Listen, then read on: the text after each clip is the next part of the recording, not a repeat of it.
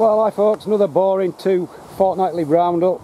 It's all going to be the same, nothing's changed. It's blowing a gale tonight, so the sound might be a bit funny. So I'll just let you see what's going on in amongst all the weeds, as usual. I don't think, this, this is the kale, growing in the bit of protection from the butterflies, even though it doesn't usually need it. So that's getting quite big, we'll probably start taking a bit of that now. Cabbages and thistles.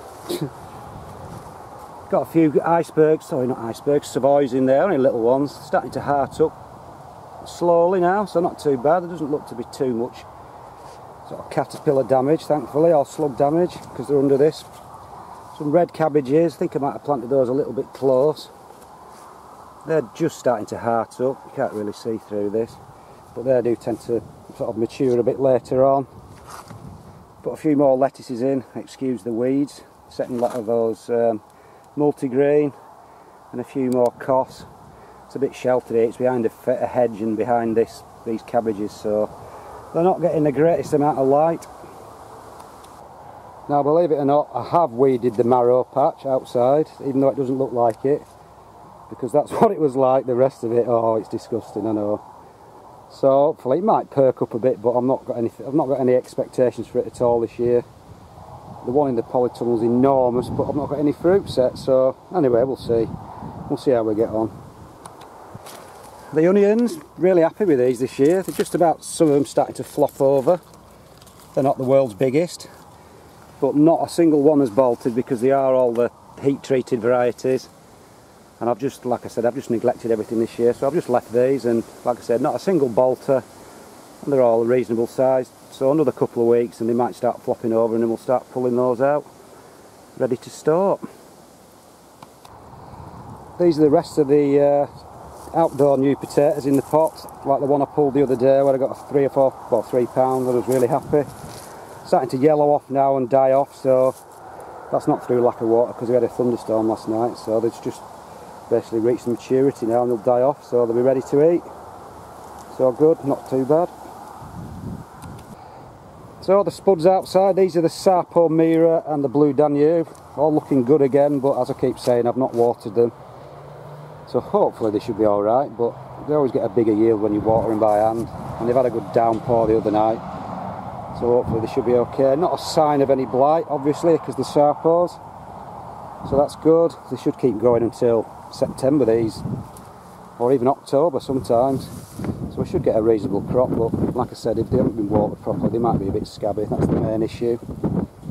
And the garlic, it's really weedy in here again, I'm afraid. I've just let it get on top of me. Still growing, no, no rust at all. So like I say, I'll just keep growing it until it either goes yellow or at the first sign of any rust, I'll pull it, but there's no rust. And if it starts to flop over, then that's show it's ready to harvest, and then we'll give it a bit of a pull up few more onions in this bed. I've never grown onions in this bed for absolutely years because I never used to get a particularly good crop.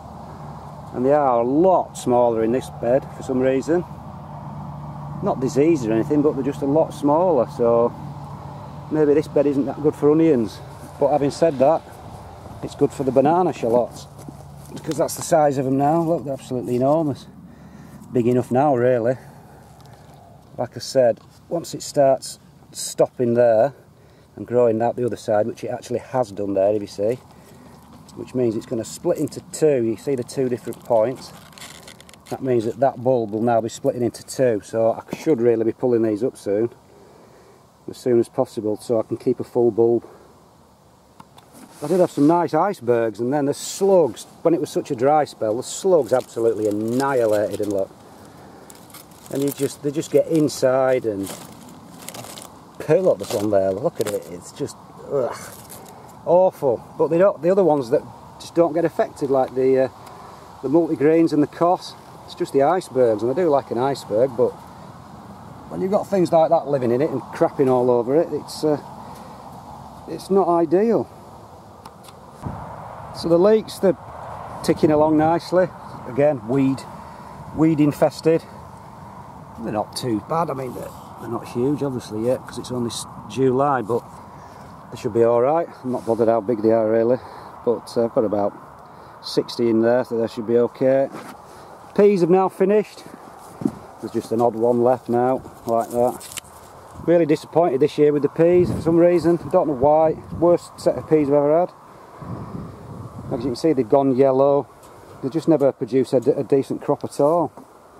So, don't know why. Try them in a different place next year, but I didn't string them up. I did neglect them, and it was a lot of dry weather. So that's probably not the best uh, best way to be growing them. Anyway, we'll just have a quick look in the polytunnel. I'll show you the mammoth, the mammoth marrow, the other bits. Right, now this is just completely overgrown by the marrow now. It's like a jungle. Can hardly walk down the paths. We'll show you that in a minute anyway. But everything else, cucumbers still producing. Cucumbers.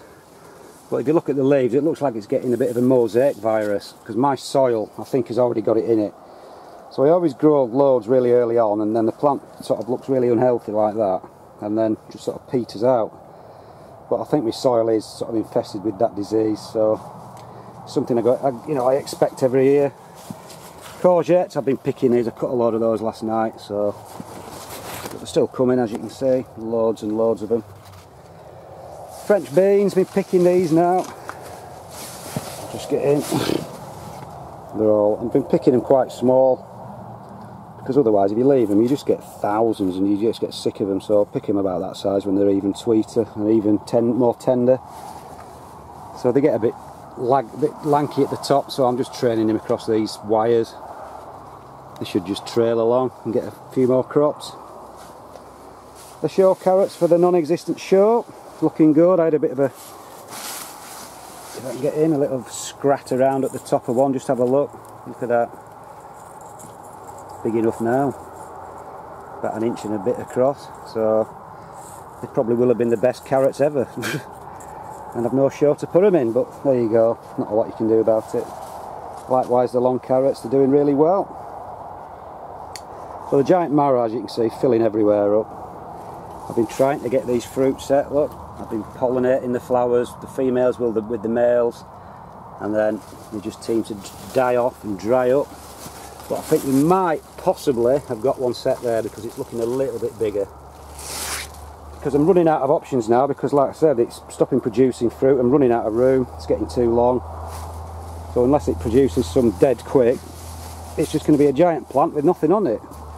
As you can see it's like it's grown through the barrels and out the other side so ideally if I could get one of these to set down there I could rest it on a barrel and it'd be nice and cool but anyway, we'll see what how we get on.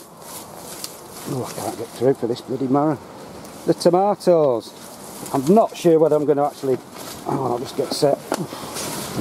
Oh, it's windy. I'm not sure whether I'm going to try and grow any giant ones for sure this year because I'm not going to any shows, so... I'll just try and grow them for eating, I think. Get some big giant beefsteak tomatoes. Because there don't appear to be any of these mega blooms on anywhere. The ones that are the mutated flowers that are all fused together, which produce the giant tomatoes. So, and you never get a huge one unless they're a mega bloom. So, I'll just grow them for eating because they are absolutely gorgeous to eat, really fleshy and sweet. But we'll see. I might just let one grow just from my own curiosity, but probably they'll just be for eating this year. They're giant potatoes. It's just the same here. It's huge, massive growth. What lies beneath, I do not know. But all that energy is going into hopefully four potatoes. So. God knows what's under it. But we'll see. Once they die down, sort of late October, late August time, or if they start getting getting blight, we'll chop them down and dig them up and see what we've got. Again, just for my own curiosity. I don't think I'll be going to Harrogate, unless I pull one up that's about that's some ridiculous size, but uh, I can't see that happening. So that's about it for the polytunnel. Just have a little look around the greenhouse finally, because there's not much going on in there either. All right then folks, let's have a look in the greenhouse. Show you what's going on. Not a lot have changed from last week. I don't know, maybe. The spuds that I planted, like I said, I've used the same old compost that I got the first lot of potatoes out.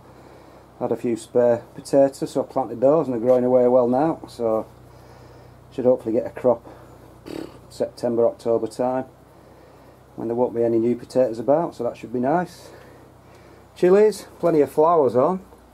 Just starting to again form the little fruits peppers are doing a bit better now. They're forming a few fruits. There's about eight on that so it's not too bad Just do with a bit of sunshine now. I'll start feeding these with tomato food now to try and bulk them up a bit. The tomatoes, the tumbling tomatoes are now just lying lying everywhere, but look at the state of that. Just trusses upon trusses of green tomatoes, hopefully just starting to ripen. But they're absolutely ridiculous. They're everywhere. They're all sizes, from little tiny ones like that to miniature ones, to medium ones to even quite big ones on the same plant. But they're just taking an awful lot of water in, a real, a real lot of water in. The other cucumber starting to slow down a bit, but we're still getting cucumbers set on it. Plant looks reasonably healthy. It's starting to yellow some of the older leaves. But I've had about six off this, and it's still pottering along. Another one of the uh, tumbling tomatoes there, a few ripening now, ready to pick. Now the giant onions, I've got an ant's nest in. And I'll just, what I'll do, I'll try and put a bit of water in and see if they come out again. They all turn, they all had wings, so I think they've all flown off now. Yeah, I think they've all flown off. But I was absolutely crawling with them. Anyway, they're the flowers. Getting pollinated still quite it takes quite a long time for them to turn into seeds but like it should be about September time when we should get loads and loads of seeds. The Shirley tomatoes doing alright now. I've started feeding them and they're starting to bulk up a bit. So I'm getting a few nice trusses now as you can see. A few a lot looking a lot better than they did. Just with that extra bit of food. And what I'll do in a, in a while once the odd one starts ripening I'll chop the lower leaves off because you don't need the leaves then. Lets more light in, lets them go a bit, uh, bit riper quicker. And same thing again, the little Gardener's Delight ones and a few more of the giant onions. So anyway folks, that's about it again. Nothing exciting as usual, same old rubbish going on. Fortley Roundup though. See you later.